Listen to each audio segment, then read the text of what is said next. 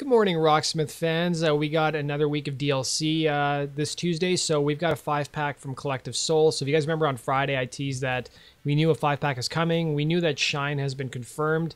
So if you guys want to see what songs are coming this week to Rocksmith, just see the annotation box on the video or click the description box below. I shoot these videos on the weekend before the DLC announcement's made, but I want to make sure that you guys get the announcement first thing in the morning when the songs are actually announced.